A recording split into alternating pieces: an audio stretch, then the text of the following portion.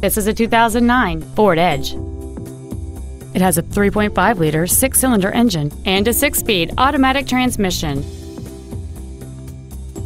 Its top features include a power driver's seat, a split folding rear seat, cruise control, four well positioned speakers, a leather wrapped steering wheel, a multi link rear suspension, big 18 inch wheels, a low tire pressure indicator, an auto dimming rear view mirror, and this vehicle has fewer than 30,000 miles on the odometer. Contact us today to arrange your test drive. Roger Shiflett Ford is dedicated to doing everything possible to ensure that the experience you have selecting your next vehicle is as pleasant as possible. We're located at 714 Chesnee Highway, Highway 11 in Gaffney.